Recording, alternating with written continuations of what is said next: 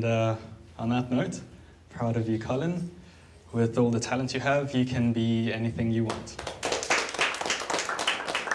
It is unlikely that Colin will go on to achieve anything in the next few years. His unhealthy obsession with zombie unicorns will ensure he remains socially inept and unemployed. Happy birthday, Colin. News 24 Edge. Get the truth. Download the app for breaking news and stories personalized to your interests.